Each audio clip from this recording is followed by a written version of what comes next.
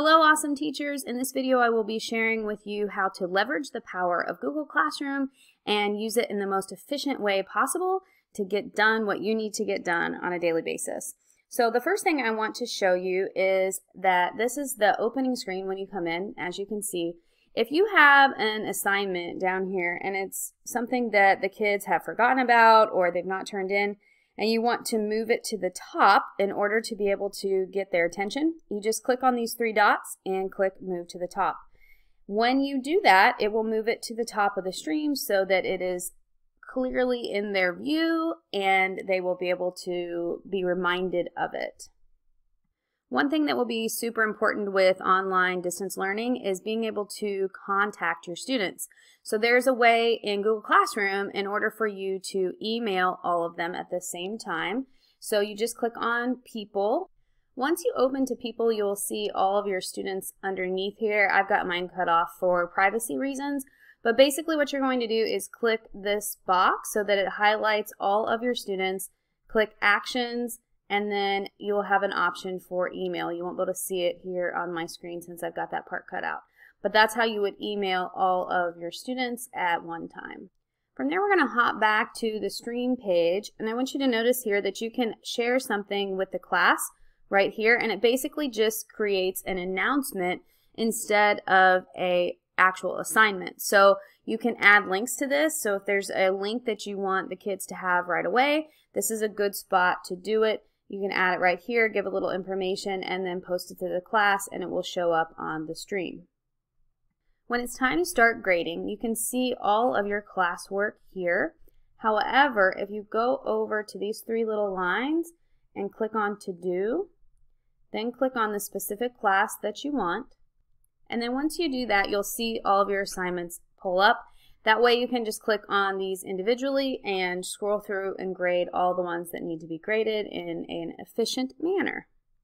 Another thing I've noticed about Google Classroom is that I get emails for everything. So if you want to set those qualifications of what emails you get, you go to your settings and then you can click how you want to receive notifications. This is a cool feature because you can customize it to whatever you would like. Another option you have to be more efficient, if you go to classwork and create, you will notice that there's an option for reusing a post. That way you don't have to retype it again. So you can click on reuse post and then as soon as it comes up, you will choose the class. This is going really slow.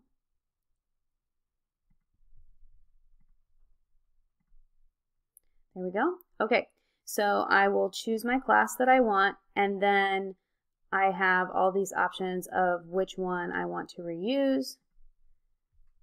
So I'll press reuse.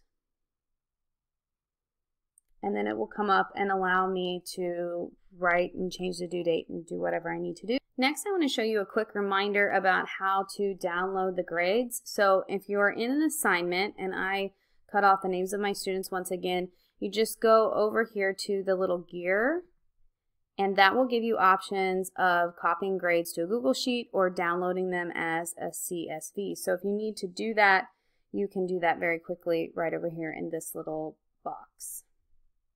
Back out on your home page now, another really cool feature is that you can create group assignments.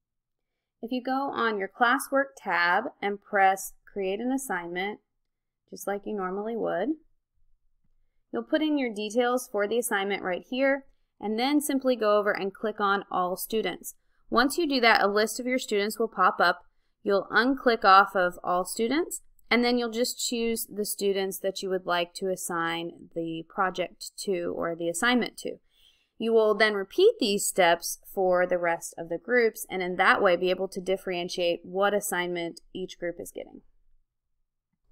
Another great way to use this while we are digitally learning from afar, if you press create and you can make a question, which is kind of like uh, an exit ticket or a bell ringer, this might be a good way just to keep your students involved in whatever you're learning about.